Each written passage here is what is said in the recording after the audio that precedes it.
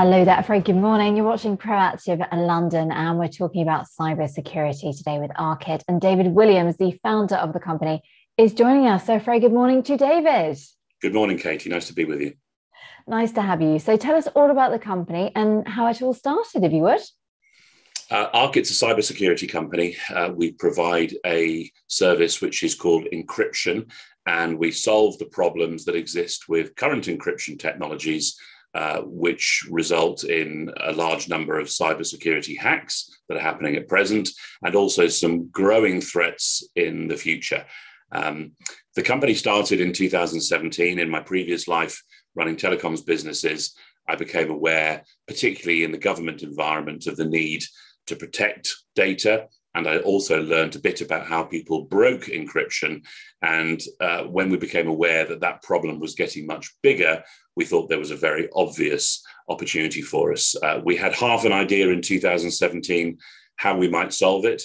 And then we spent five years inventing some software, uh, which is now very easy to deploy, very easy to use, and provides a very definitive solution that means that all forms of network, whether government, enterprise, or citizen can be protected from a large range of cyber hacks. Mm-hmm. And you mentioned five years. So, what's changed in the last five years? Because I seem to be reading on a daily basis about a cyber security threat. I think this morning I was reading about global food chain supplies. So, how has it actually changed in the last five years in your experience? I think it's uh, a combination of, of, of, supply and demand.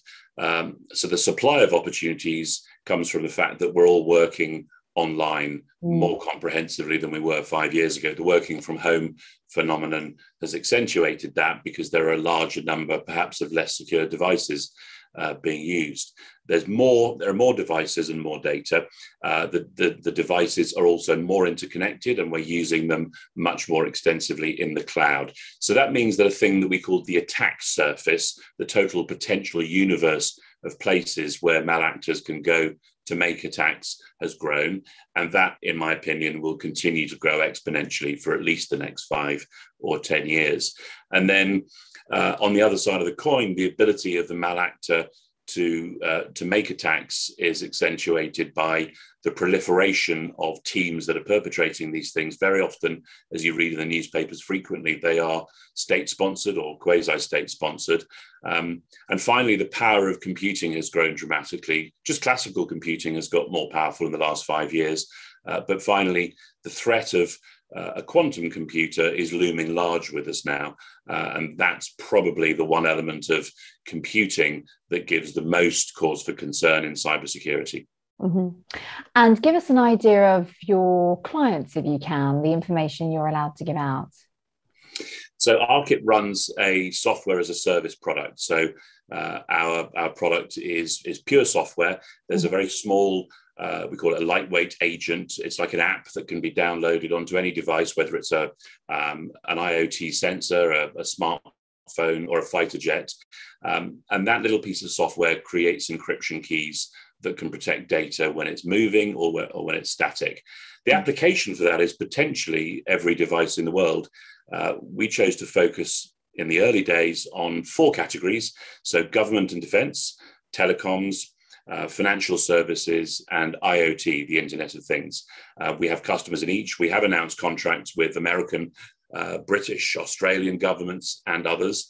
Um, uh, there are uh, many more areas of activity going on in the company in government and defense. Um, many of them won't be public uh, ever, but that market is very exciting for us. Um, we have announced previously contracts with uh, with telecoms companies, and just last week we uh, announced the completion of a project with the British government whereby we successfully proved that our software can secure 5G networks in their interaction with IoT sensors. That's very important for the world because 5G and then 6G is growing very fast. It's currently not capable of generating end to end encryption.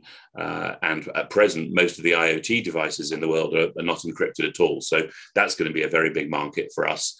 Um, in financial services, we're focusing on providing our product to the very largest uh, of investment and, and commercial banks. Um, and in the IoT world, we've previously announced projects in smart cities and in energy.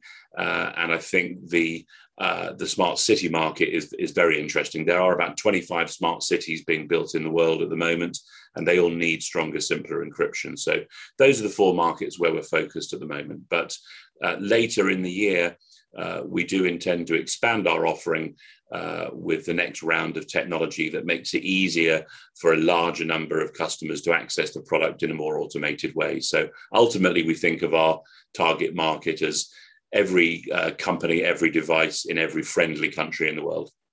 All right. Well, thank you very much indeed. Good to meet you this morning. Thank you for giving us a flavour as to what you do there at Arqit. Uh, that's David Williams. Thanks, Katie.